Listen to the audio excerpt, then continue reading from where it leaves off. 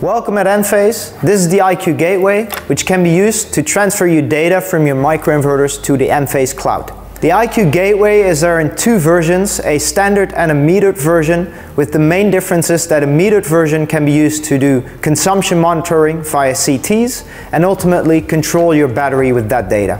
On the IQ Gateway, you have your power connections on the left here, with the neutral always being the most left side. Make sure, especially in three-phase configurations, that you don't accidentally go L1, L2, L3 neutral, because that will damage the device. In the middle, there is on the standard and the metered version a, a place to connect your CTs but the CTs will only work on the metered version. It is marked here if it is possible to connect to these CTs. The rightmost terminals can be used for DRM functionalities. There's also a number of LED indicators and buttons on the side here. The topmost LED shows your connection to the cloud. The one below shows if your access point is active. Below that, we have the power LED.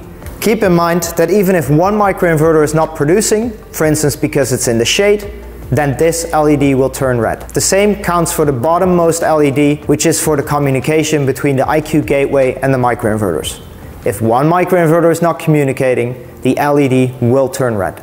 The two buttons have multiple functionalities. The topmost button, if pressed once, can be used to activate the access point. If you hold this button, it will activate the WPS, but only if you don't have an Ethernet cable connected. The bottommost button is used for PLC scan for everything before IQ8 microinverter series. Lastly, the USB ports can only be used for Enphase devices like our cell modem which connects with 4G to the cloud. Like with our other devices, the IQ Gateway has a unique serial number in this barcode which can be found here twice so you can take one with you. To make it easy, we've also added it to the back so you always know which serial number you have.